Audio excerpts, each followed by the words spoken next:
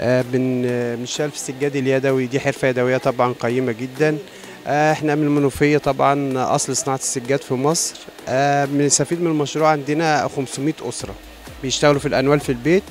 آه، بيتراوح سعر المتر بيبدأ من 5000 جنيه وإحنا طالعين لحد 30000 و 35000 المتر. بنعمل منتجات طبيعية للعناية بالبشرة. ما عندهاش أي كيماويات ولا ألوان صناعية ولا روائح صناعية. فمثلا على سبيل المثال ده صابون بيبقى بالجزر. وهو بيكون متلون بعصير الجزر. والروائح اللي موجودة فيها بتبقى اسمها نباتات طبية وعطرية ما فيهاش أي حاجة ارتفيشال يعني.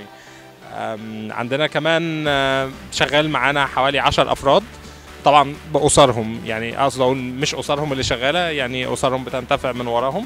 إحنا بنقدم زيت زيتون آه، الطبيعي بتاعنا بتاع شمال سينا.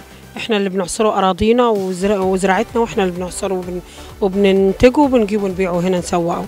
والعجوة بتاعتنا حضرتك دي اللي بنعملها الست البدوية اللي هي بتعملها على إيدها ما بنحتاجش حد ندخلها مصانع ولا حاجة.